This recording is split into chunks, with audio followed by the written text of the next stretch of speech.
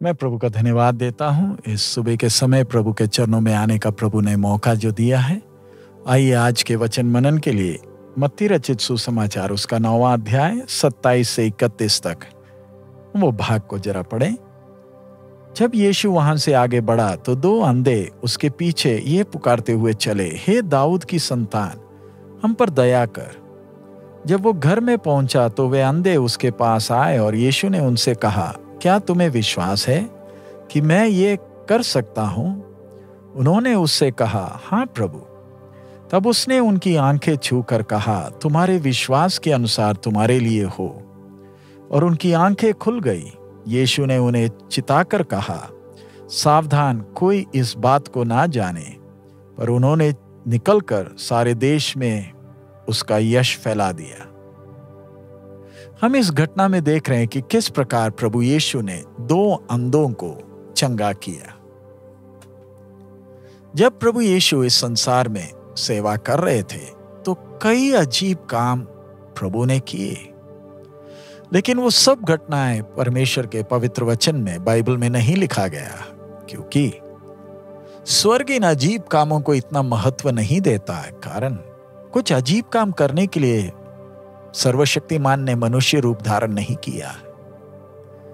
लेकिन जो लिखी हुई घटनाएँ पवित्र बाइबल में है, संक्षिप्त में कुछ बातें ही लिखी है ताकि उनके द्वारा हमें कुछ सबक सीखने हैं।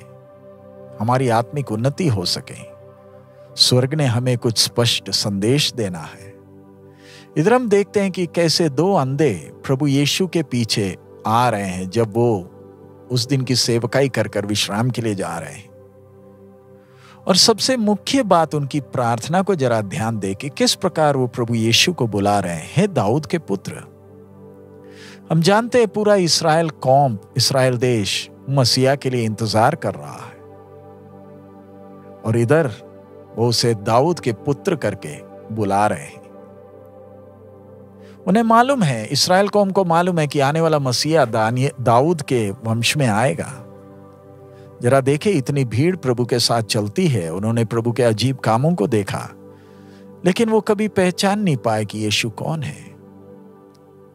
लेकिन ये दो अंधों को देखे। बेशक वो देख नहीं सकते तो भी उन्होंने प्रभु यीशु के बारे में कई बातें सुनी हैं। और प्रभु ने ही उनके आत्मिक आँखें खोले ताकि वो उन चीज़ों को देख सके जो पढ़े लिखे समझदार देख नहीं पाते थे।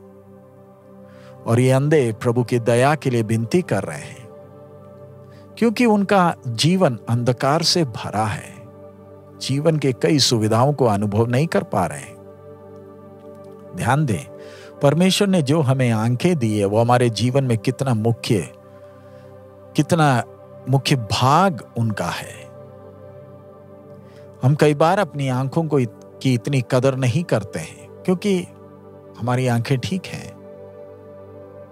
जरा रोशनी चले जाए तब मालूम चलेगा। ये आँख की कीमत क्या है? ये दो अंधे प्रभु के पीछे चल रहे, रोते हुए, दया की विनती कर रहे हैं। प्रभु ने उनकी पहली पुकार को ज़रूर सुना होगा, लेकिन जवाब नहीं दिया, क्योंकि उनके विश्वास की परख है। ये दो अंधे चंगाई के लिए मांगने विनती नहीं कर रहे। उन्हें मालूम है कि अगर मसीहा उन पर करुणा करेगा तो उनका जीवन हमेशा के लिए बदल जाएगा। प्रभु यीशु उनसे पूछते हैं क्या तुम्हें विश्वास है कि ये काम मैं तुम्हारे लिए कर सकता हूँ? और वो कहते हैं, जी, ये उनके विश्वास का सबके सामने प्रकटीकरण है। प्रभु यीशु ने उनके आँखों को छुआ, कारण वो स्पर्श उन्हें तसली देता है और उसके बाद उनके इच्छा के अनुसार, उनके हृदय की तमुन्ना के अनुसार उनको चंगा भी किया जरा देखे प्रभु यीशु उन्हें किस तरह प्रोत्साहित करते हैं। कि उनके विश्वास ने उन्हें चंगा किया है, वो है स्वर्गीय पिता का प्रेम। प्रभु यीशु भीड़ को देखकर तरस खाए क्योंकि भीड़ इस प्रकार एक चरवाहे के बिना भटकी हुई भेड़ों के समान थे, कितने बार तरस खाए।